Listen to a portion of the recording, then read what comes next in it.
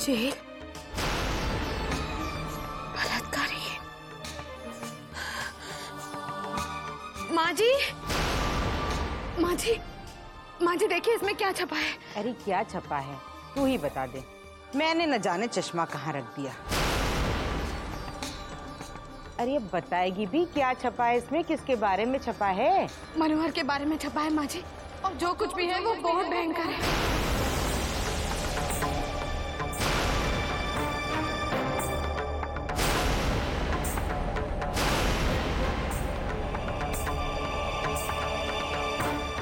अरे, मुझे तो सच में कुछ नहीं दिखाई दे रहा है। तू ही बता क्या है?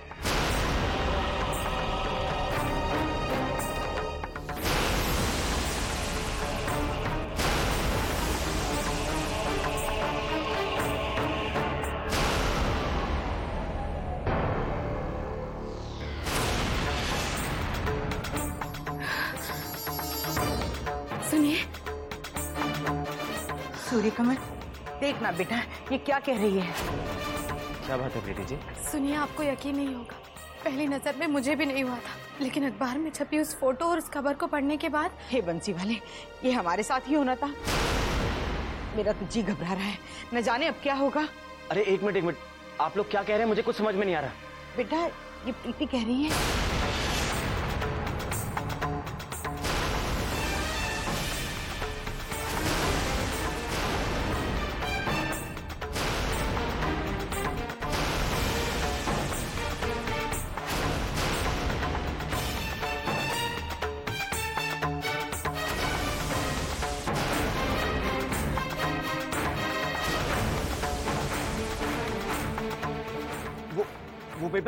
मुझे पेपर दिखाइए।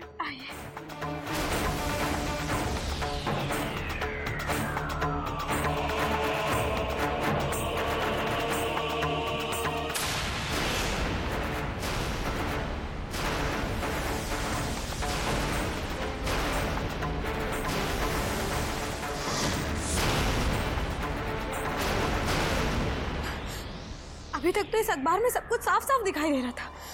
और अभी अचानक ये खून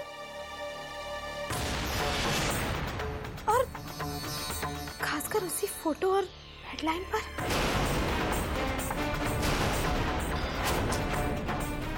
हाय, मैं तो मारी गई अम्मा जी देखिए ना जरा सा चूड़ी टूटने से कितना खून बह गया है।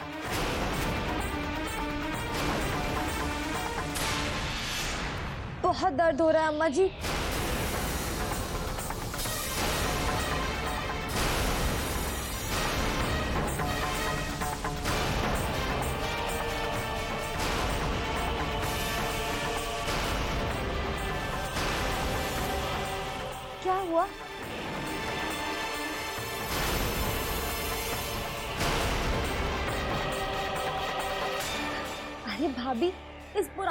अखबार पे जरा सा खून बढ़ गया तो कौन सा पहाड़ टूट गया?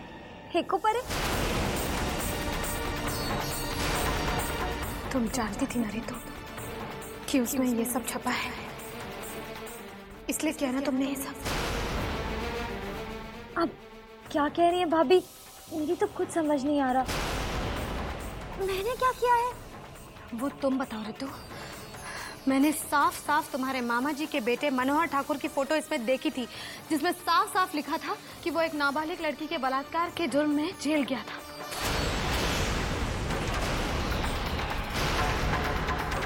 और अभी इन दोनों वो जमानत पर छूटा हुआ है। ना? क्या? सुना आपने अम्मा जी ये क्या कह रही है?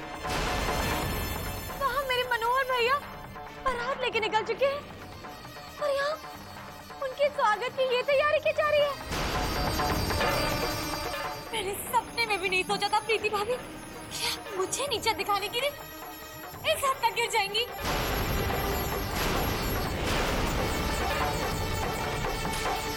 मैं जानती हूँ कि आपको मैं और मेरे पीहर वाले फूटी आग नहीं भाते। पर एक बार एक बार आपने सजनी के बारे में तो सोचा होता। अब क्यों बार बार उसकी शादी में अड़ंगे डाल रही हैं? कभी कुछ कहती है कभी कुछ कहती है मेरे तो कुछ समझ नहीं आ रहा। और आज आज तो आपने हाथ ही कर दी, भाभी। जी और इस घर के होने वाले दामाद के बारे में इतनी घिनौनी बात करने से पहले आपने एक बार एक बार सजनी के बारे में भी नहीं सोचा कि उस पे क्या बीतेगी? अब आप ही बताइए, अम्मा जी, क्या मैं आपको इतनी नीच लगती हूँ? अपनी सगी ननद के साथ ऐसा करूँगी। अब आप ही को फैसला करना है, अम्मा जी। कि आपको किसकी बात पे ज़्यादा भरोसा है? मेरी बात पे? या फिर इनकी?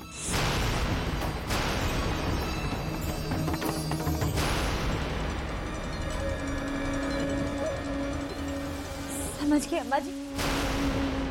मुझे आपका जवाब मिल गया, अम्मा जी। मैं अभी मामा जी को फ़ोन करके मना कर देती हूँ कि कि इस घर में बारात लेकर ना आए। अब जहाँ दिलों में गांठ पड़ गई हो, वहाँ फ़ायदा क्या है रिश्ता करने का? ठीक है ना, अम्मा जी? मैं अभी बोलती हूँ। रितु पागल हो गई है तू? अब इस वक्त अपने मामा जी को कहेगी, बारात मत लाओ। मैंने कुछ कहा तुझसे? कहा कुछ? नहीं ना? भगवान ही जाने इस अखबार में क्या लिखा है और क्या नहीं। मैंने तो चश्मा लगाया नहीं। मुझे कुछ ठीक से दिखाई नहीं दे रहा था। अरे सूर्य कमल तुझे कुछ दिख रहा है बेटा? नहीं माँ इसमें तो कुछ नहीं दिख रहा है। आह, आह, अरे देख कितना खून बह रहा है। प्रीति जी। जा ना उसे मरम पट्टी कर दे जा।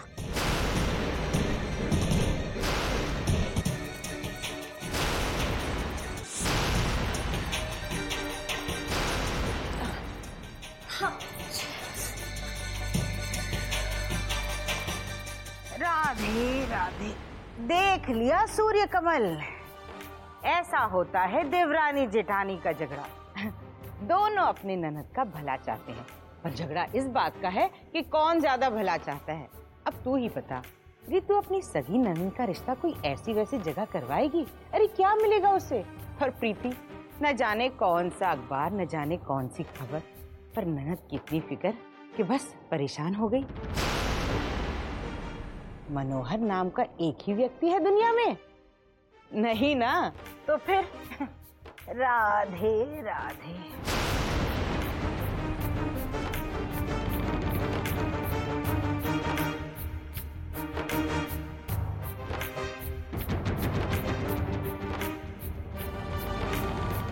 देखिए ना भाभी, पहले कितना कुछ हो रहा था।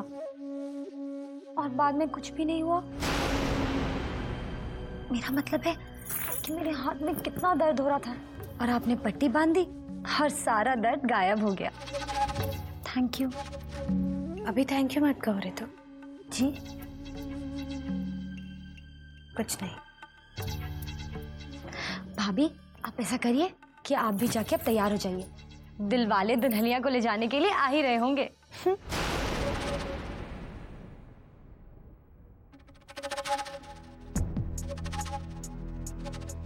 तुम्हारे ये हाव भाव और सुर देखकर तो मेरा शक यकीन में बदल गया है, ऋतु।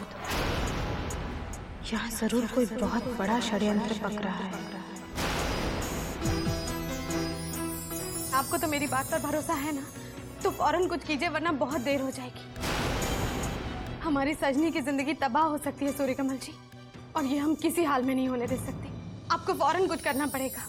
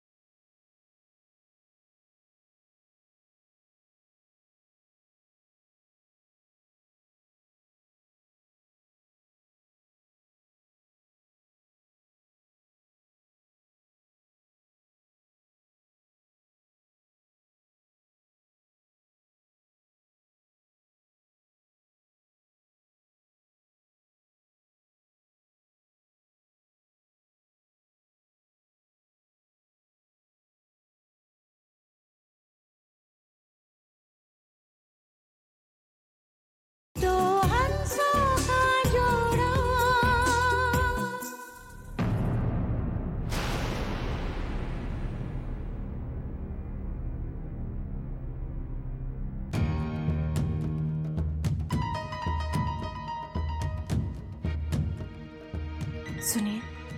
जी। मैं जानती हूँ ये वक्त इन सब बातों का नहीं है। लेकिन मैं सच कह रही हूँ मैंने वो खबर अपनी आँखों से पढ़ी थी और मनोहर का चेहरा भी साफ़ साफ़ पहचाना था।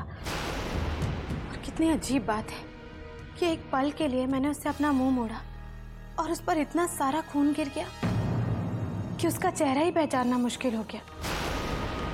ये संजोग नहीं हो सकता। ये संजोग हो ही नहीं सकता सूर्य कमल जी। संजोग तो वो था जब कान्हा जी ने उस अखबार के पन्ने को मेरी आँखों के सामने लाकर रख दिया ताकि उस मनोहर की सच्चाई का कच्चा चिट्ठा मेरे सामने आ जाए। लेकिन ये तो प्रीति जी मुझे एक चीज़ बताइए। अभी आप रितु की जख्म की पट्टी करके आई है ना? तो आपको क्या लगता है रितु की चूड़ी का टूटना झूठ है या उसकी जख्म से खून गिरना? दोनों में से कुछ भी नहीं। लेकिन उसकी वजह से जो सबूत मिट गया या उसे मिटा दिया गया, वो एक बहुत बड़ा सच था। और अगर वो सच सबके सामने आ जाता ना तो सजनी का भाग्य बदल जाता। लेकिन देखिए, मेरे अलावा उस खबर को और कोई भी नहीं पढ़ पाया। लेकिन आपको तो मेरी बात पर भरोसा है ना तो फ़ौरन कुछ कीजिए, वरना बहुत देर हो जाएगी। भगवान ही जाने ऋतु ये सब क्यों कर रही है। हमारी सजनी की ज़िंदगी तबाह हो सकती है सूर्य कमल जी। और ये हम किसी हाल में नहीं होने दे सकते। आपको फ़ौरन कुछ करना पड़ेगा। अब आप क्या सोच रहे हैं बताइए? आपको आपको मुझ पर तो भरोसा है ना? मुझे आप पर पूरा भरोसा है, प्रीति जी। और इस बात की चिंता भी नहीं है कि अगर अगर मैंने सच्चाई जानने की कोशिश की तो घर आई बारात लौट जाएगी। लेकिन बात फिर वहीं आ जाती है। सबूत सबूत कहाँ है हमारे पास? बिना सबूत के मैं तो मान जाऊँगा। और सजनी भी बिना कुछ कहे आपकी बात पर यकीन कर लेगी। लेकिन माँ माँ ना ही कुछ समझेंगी और ना ही ना ही मानेंगी। तो क्या सब कुछ जानते बूझते हुए हम हाथ पर हाथ धरकर बैठे रहेंगे? और जो हो रहा है उसे होने देंगे? आप आप चिंता मत कीजिए। मुझे थोड़ा सा वक्त दीजिए मैं कुछ सोचता हूँ।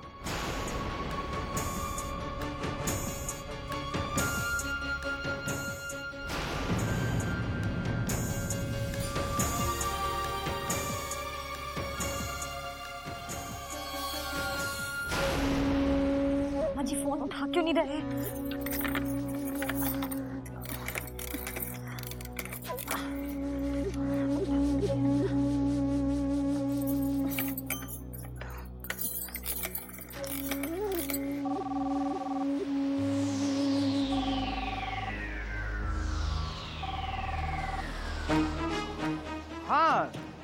चुकी है भांजी बारात निकल चुकी है। बस तेरे घर पे पहुँचने वाली है। अरे मामा जी मैंने उसके लिए फ़ोन नहीं किया है। तो?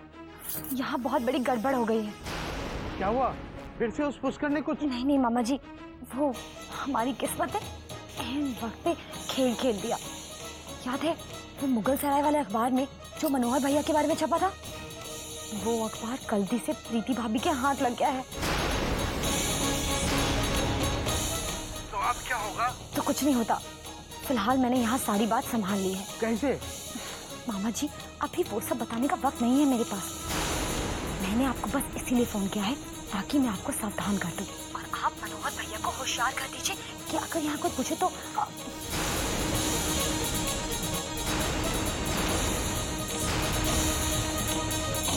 नहीं नहीं मामा जी आपने पहले ही इतना कुछ किया है। हाँ हाँ आपके उसूलों को मैं नहीं जानूँगी तो कौन जानेगा? पर फिर भी मामा जी हर बात की हद होती है। इसलिए बस अच्छा मैं फ़ोन रखती हूँ।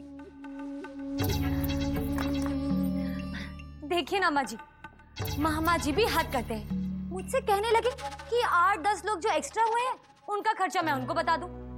मैंने तो साफ़ मना कर दिया। मैंने कहा कि हमको इतने गए गुजरे हैं कि इतना एक्स्ट्रा खर्चा भी नहीं उठा सके। ठीक क्या ना अम्मा जी बिल्कुल ठीक किया रही तूने। पर पूछा कि नहीं बारात निकली या नहीं जनवासे से? उन्होंने कहा है कि बारात निकल चुकी है। लो बारात निकल गई। चलो चलो बहुत काम है। आ जाओ। एक बात बताओ रितु। तुम्हें क्या लगता है? तुम सजनी की ज़िंदगी बर्बाद करने के लिए मन चाहे खिलवाड़ करती रहोगी और मैं मैं ऐसा होने दूँगी?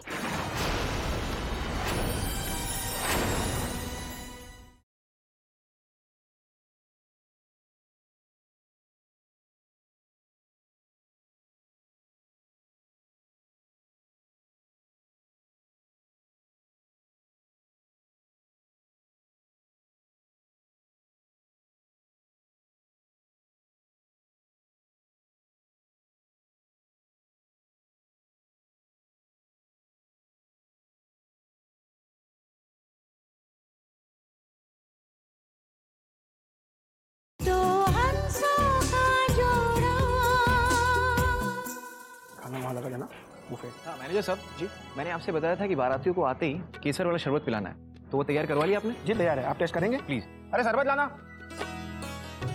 लीजिए टेस्ट कीजिए। हाँ जी। हम्म। वेरी नाइस गुड अच्छा हाँ वेटर से कहिएगा इसके साथ पेपर नैपकिन ज़रूर दे। ठीक है? और क्या रह गया? हम्म। गुलाब का इत्र। वो भी छिड़कना है बारातियों पे। ध्यान रखिएगा। जी ज़रूर। कहाँ है वो? वहाँ पर रखा है हम्म गुड अरे वो लेके आना। सजनी अपना घूंघट संभालियो वहाँ पर। कहीं सबके सामने सरक गया तो बेकार में हंसाई होगी। बिल्कुल भी नहीं सर के गामा जी देखिए ना मैंने कितने सारे पिंस लगाए हैं। हम्म। ठीक है। देख रही सजनी आज तेरा ब्याह है। जरा नजाकत से हम्म? यूँ नहीं कि धन्नो की तरह धम धम गई और वरमाला पहना दी। आराम से धीरे धीरे छोटे छोटे डग भरते हुए। और यूँ मत देखना। यूँ नज़रें झुका के शर्माते हुए। अरे कुछ समझी या नहीं? क्यों नहीं समझेगी अम्मा जी? हमारी सजनी कोई बुद्धू थोड़ी ना है। बहुत समझदार है। और हर वक्त इसके साथ मैं भी तो रहूँगी ना। हाँ रे ऋतु हर वक्त इसके साथ रहना। एक पल को भी इसको अकेला मत छोड़ना। चलो मैं बाहर जाकर देखती हूँ इन लोगों ने अभी तक ब्याह के गीत शुरू क्यों नहीं किए? आप यहाँ हो भाभी? चलिए ना शगुन का पहला गीत तो शुरू कीजिए बाकी हम संभाल लेंगे। हाँ चलो चलो। ऋतु जब वरमाला के लिए बुलावा आए तो प्रीति को अपने साथ ज़रूर लाइयो बड़े दिनों से एक सपना देख रही हूँ जब मेरी सजनी हाथ में वरमाला लिए मंडप की ओर बढ़े तो उसके आसपास उसकी दोनों भाभियाँ हों।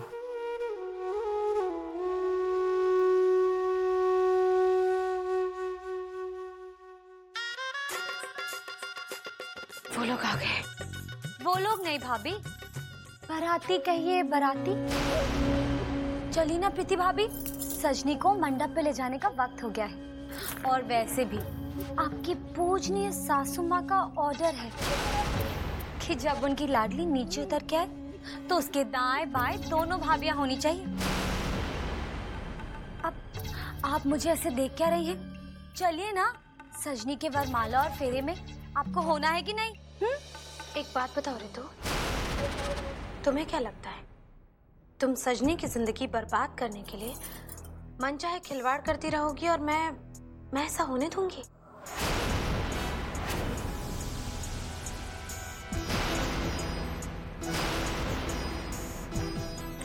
देखिए भाभी, अब इन सब बातों से क्या फ़ायदा? आप ही बताइए। अब इस वक्त आपकी सुनेगा कौन? और अगर सुन भी लिया तो मानेगा कौन? वैसे भी भाभी अब ब्याह होने में ज़्यादा वक्त नहीं रह गया। मैं भी तो देखूँ कि इतने से वक्त में आप क्या तीर मार लेती हैं। मान लीजिए ना भाभी कि ये जंग तो आप हार चुके हैं। और अगर फिर भी आपको तीर चलाने का इतना ही शौक है तो कर लीजिए अपनी हसरत पूरी। प्रीति भाभी जी।